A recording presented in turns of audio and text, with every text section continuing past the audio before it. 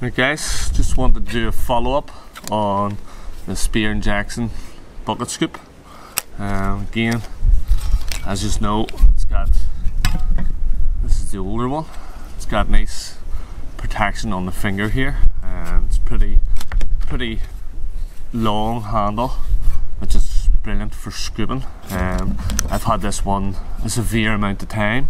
I actually did a, one of our most popular videos is using this bucket scoop, mixing up sand and cement a long, long time ago. I'll drop that in the description if you want to see how long I've had this scoop.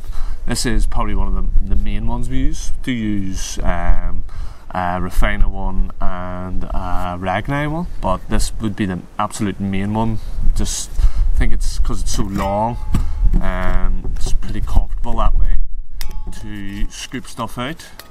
Um, you get good leverage, but yeah, had a severe amount of time for bucket scoop. Um, a lot cheaper then than it is now, but still cheap as far as tools go. But you can see how well it's rounded in.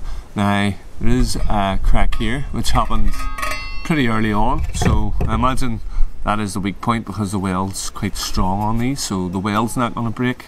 Um, your main risk would be it snapping across, but like I say, had that one a severe amount of time and still going strong. Um, let I also say, guys, the great thing about them is the wee knuckle guard there, the finger guards that Tyzack and Spear and Jackson have sort of went for. I think it's it's great. These ones are they're rubber. That's very very comfortable. But yeah, probably one of the best bucket scoops I've had. I've had. I normally buy cheap which don't last and they just keep replacing them them cheap but these ones here this has lasted just it's blew a lot of other ones out of the water by far. It's actually very sharp now too. You, you could cut scrim with this it's really really sharp. That's how old this thing is